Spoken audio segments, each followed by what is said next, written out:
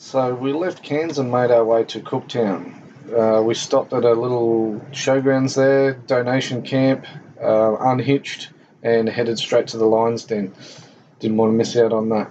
Had a few beers, uh, took all the photos, wrote our name on the wall, all the general stuff you do there. Then uh, headed back into Cooktown, had a nice walk around, a little explore around there, the lighthouse, good views.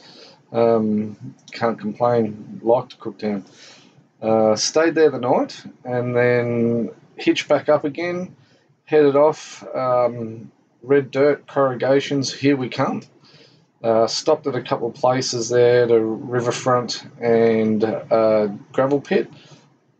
Um, yeah, have a look at this and let us know what you think.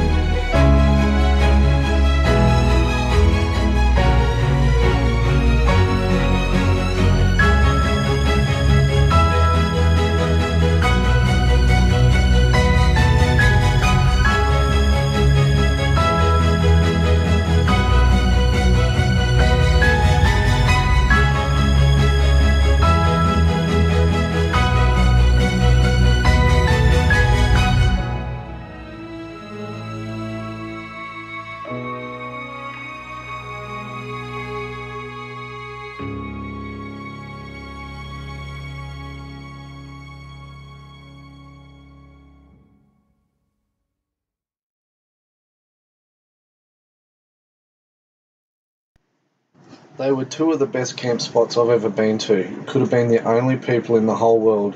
It was just quiet, peaceful. Um, yeah, the first one was only just off the side of the road. The second one in the gravel pit, that was a few, uh, maybe a few hundred meters off the road. But awesome, really quiet. Yeah, I loved it. Um, from there, we jumped back into the red dirt and made our way here. Fruitbat Falls. Both of us always wanted to go to this place. Uh, you see the photos, you hear the stories, you see the videos, and you just, yeah, after the, the red dirt for the few days and driving up here, you haven't been able to go for much of a swim. We could not wait to get here. You looked at the water and wow, it is beautiful. It is everything that you see. There we go, giddy up.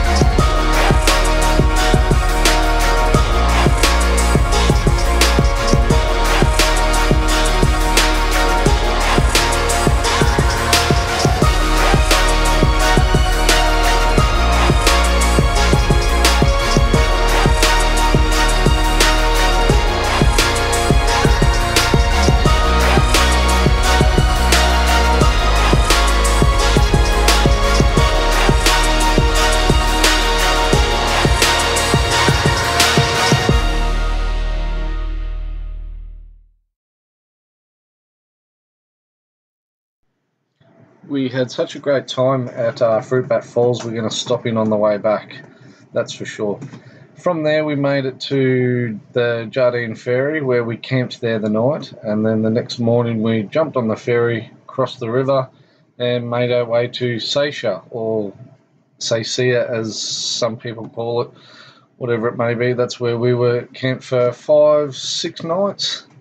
Um, right on the water. You could not get any closer. We were, we were right there on the beach, backed up. We could have fires at night. Um, we went to Thursday Island while we are there. Uh, went to the tip and all the general sightseeing places, the five beaches, um, a few other drives around while we were there. Yeah, Seisha or Seisia as they say it. Um, perfect spot. There was also a crocodile, which I'll show you soon um, crocodile just across on the, another island there that you could um, see him there. So I flew the dro- drone over and um, had a good look at him. Um, yeah, this is our campsite now. Um, and then, yeah, this is where we stayed, had fires at night, loved it.